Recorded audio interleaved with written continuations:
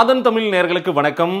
கடந்த ஒரு ரெண்டு மாத காலமாகவே திரௌபதின்ற படம் அந்த ட்ரைலர் வெளியாகி ஒரு மிகப்பெரிய ஒரு எதிர்பார்ப்பையும் பல சர்ச்சைகளையும் உண்டாக்கியது. இந்த படத்தை நாம் பார்த்துவிட்டு அதற்கான விமர்சனத்தை தான் நம்முடைய ஆதன் தமிழ் நேயர்களுக்கு நான் கொடுக்கவிருக்கிறேன்.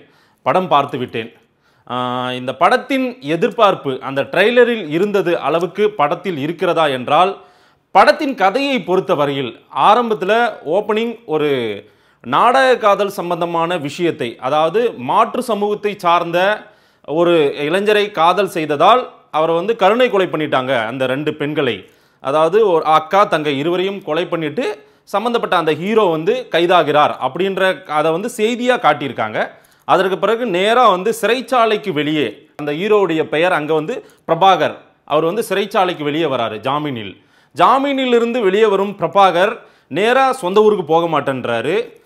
அவர் ஏன் சொந்த ஊருக்கு போகலன்னா சில விஷயங்கள் எனக்கு இருக்குது அதையெல்லாம் செய்துவிட்டு தான் நான் சொந்த ஊருக்கு போவேன்றாரு. அதே போல் இரண்டு பெண்கள் அதாவது அக்கா தங்கை இருவரையும் தான் தான் கொலை செய்து விட்டதாக அப்படின்னு ஒரு பொய் வழக்கு அங்கே புனையப்பட்டிருக்கிறது. அது கதையினுடைய அந்த போகிற போக்கில் நமக்கு தெரிகிறது.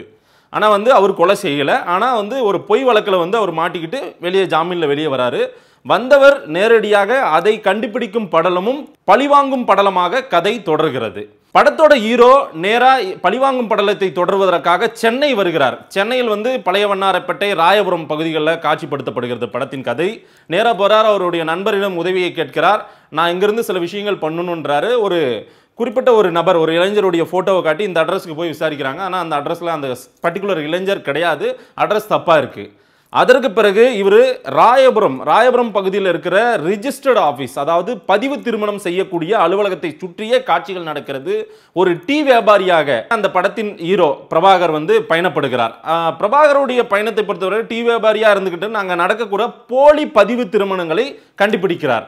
தன்னை சிறைக்கு அனுப்பிய இரண்டு குற்றவாளிகளை அதாவது ஒரு குறிப்பிட்ட ஒரு கட்சியின் தலைவரை எல்லாம் காட்டியிருந்தார்கள். முகபாவனைகள் அப்படி இருக்கு அவர் தலை அப்படி வாரி இருக்கார் அவருடைய ஷர்ட் பேண்ட் உடைய கூலிங் கிளாஸ் போட்ட ஒரு காட்சிகள் இருக்கிற அந்த ஒரு பர்டிகுலர் நபரையும் டீ கேன் வைத்துக்கொண்டு டீ வியாபாரம் செய்யும் பிரபாகர் அங்க இருக்கிற பதிவு திருமணம் நடக்கக்கூடிய ரிஜிஸ்டர்ட் ஆபீஸ்ல எல்லாருக்கும் பழக்கமாகிறாரு. அங்க கர்ணான்ற ஒரு நபர் ஏற்கனவே அந்த கர்ணா வந்து தன்னுடைய மனைவி தன்னுடைய மனைவியின் தங்கையை கொலை செய்தவர். அதாவது இவர் எந்த பாதிக்கப்பட்டு பழிவாங்கும் படலத்துக்கு வருகிறாரோ அந்த கர்ணாவை காண்கிறார். முதல்ல அந்த கர்ணாவை தீர்த்து கட்டுகிறார்.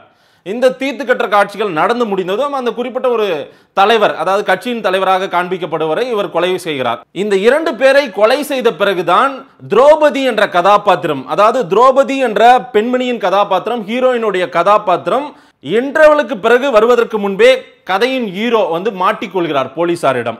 ஸோ இதுலேருந்து நமக்கு என்ன புரியுது அப்படின்னா கதையினுடைய முற்பகுதி இன்டர்வலுக்கு முன்னாடி வரைக்கும் அவர் வந்து பழி வாங்குறதுக்காக சென்னைக்கு வராரு பழி வாங்கிடுறாரு. அதற்கு பிறகு திரௌபதி உயிரோடு இருப்பதாக இவர்களை பற்றி ஆவணப்படம் எடுக்கும் ரிப்போர்ட்டர் சொல்றாங்க.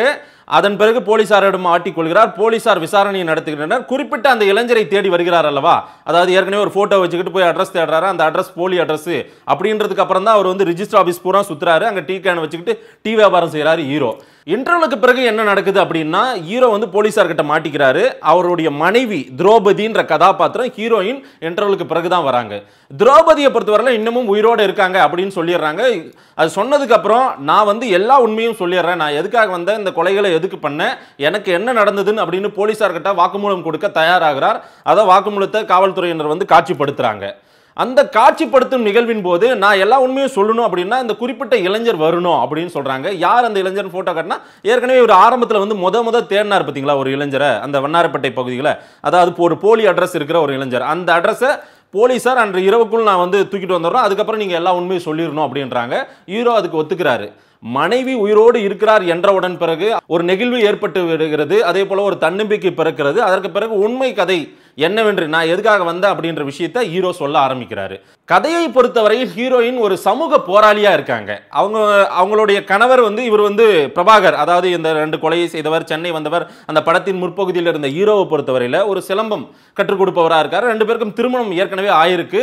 திருமணத்திற்கு பிறகு நடக்கக்கூடிய விஷயங்கள் அதாவது அவர்களுடைய தங்கை சித்தப்பா பொண்ணு லக்ஷ்மின்ற ஒரு கேரக்டர் காட்டுறாங்க. அந்த லக்ஷ்மின்ற கேரக்டரை வச்சு தான் இந்த நாடக காதல் கதையே உருவாக்கப்பட்டிருக்கிறதாக காட்டுறாங்க.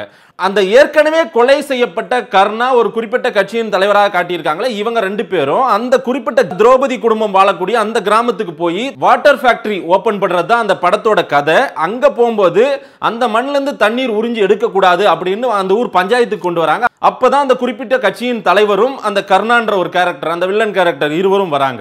அதற்கு பிறகுதான் இவர்களுக்கு மோதல் ஏற்படுகிறது. இவங்க ரெண்டு பேரையும் நம்ம விட்டுடக்கூடாது அப்படின்னும் போது அந்த பெண்ணை காதல் வலையில் சிக்க வைக்க ஒரு இளைஞரை கொண்டு வராங்க. ஆரம்பத்திலே ஹீரோ தேடி வர்ற அந்த இளைஞர் தான் இந்த இளைஞர். இதில் வந்து நாடக காதல்ன்ற ஒரு விஷயத்தை எப்படி காட்டியிருக்காங்க அப்படின்னா ரிஜிஸ்டர் மேரேஜ் பதிவு திருமணம். பதிவு திருமணம் அதாவது பெண்ணே இல்லாமல் பதிவு திருமணம் நடந்திருக்கு. போலி ஆவணங்கள் தயாரிக்கப்படுகிறது. ஆதார் கார்டு தயாரிக்கிறாங்க ஓட்டர் ஐடி தயாரிக்கிறாங்க. இந்த போலி ஆவணங்கள்லாம் தயாரித்து கிட்டத்தட்ட மூணாயிரத்தி ஐநூறுக்கும் அதிகமான பதிவு திருமணங்கள் போலி திருமணங்கள் இந்த ராயபுரம் ரிஜிஸ்டர்ட் ஆபீஸ்ல நடந்ததாக காட்சிப்படுத்தி இருக்கிறார் நாடக காதல் விஷயத்தில் வட மாவட்டத்து மக்கள் இந்த படத்தை நிச்சயமா பார்ப்பாங்க. ஏன்னா அதிக ஒரு எதிர்பார்ப்பை ஏற்படுத்தியிருக்கிற இந்த படம். ட்ரைலர் விஷயத்துல ஒரு முன்னோட்டத்தில் பெரிய அளவுக்கு வந்து ஒரு ஹிட் கொடுத்த ஒரு படம் என்பதனால் இந்த படம் அவங்க எதிர்பார்த்த அளவுக்கு மக்களுக்கு இருக்குமா அப்படின்றது ஒரு சில கொஸ்டின் மார்க் இருக்க தான் செய்யுது இந்த படத்தை பொறுத்தவரையில். இந்த படத்தின் காட்சிகள் எப்படி நகருது கடைசியில் பிற்பகுதியில் அப்படின்னு பார்த்தீங்கன்னா ஹீரோவை ஒரு தனி இடத்துக்கு வர சொல்கிறாங்க அந்த இளைஞர் அழைப்பது போல என்னை காப்பாற்றுங்க இல்லைன்னா என்னையும் கொன்றுவாங்க அப்படின்னு இளைஞர் அந்த இளைஞர் குறிப்பிட்ட இளைஞர் அழைக்கிறார். அந்த நேரத்தில் அந்த வில்லனாக காட்டப்பட்டிருக்கும் அந்த அரசியல்வாதியும் வில்லன் கர்ணா மற்றும் அந்த குறிப்பிட்ட அரசியல்வாதி இருவரும் அந்த வீட்டில் புகுந்து இரண்டு பெண்களையும் கத்தியால் கழுத்தை அறுக்கிறார்கள். இந்த காட்சியை காட்டியிருக்காங்க. அதன் பிறகு ஹீரோவை அதான் ஆரம்பத்தில் மாட்டிட்டு போலீஸ்லேருந்து வெளியே வந்தார் பார்த்தீங்களா ஹீரோ படத்தின் முற்பகுதியில். அதை வந்து அதற்கு பிறகு தொடருது. இந்த பழிவாங்கும் படலத்தில் மிக முக்கியமாக என்னத்தை காட்டியிருக்காங்க அப்படின்னு பார்த்தீங்கன்னா நாடக காதல்ன்ற விஷயத்தில் பெண்களை காதல் செய்வது போல செல்ஃபி ஃபோட்டோ எடுக்கிறது சமூக வலைதளங்களில் சில விஷயங்களை ஃபோட்டோவை மார்பிங் பண்ணுற சில விஷயங்களை காட்டுறாங்க.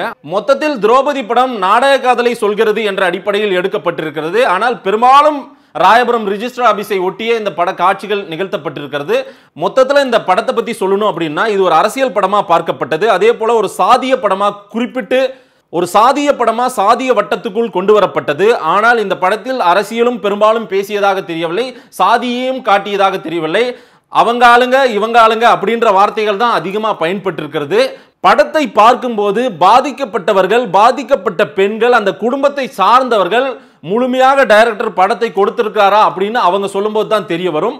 பார்க்குற நேயர்கள் இந்த படத்தின் கதையை நான் சொல்லிட்டேன். நீங்களும் போய் திரைப்படத்தை தேட்டரில் பாருங்கள் மோகன்ஜி அவர்கள் ஒரு விழிப்புணர்வு படத்தை கொடுத்திருக்கிறார். நன்றி வணக்கம்.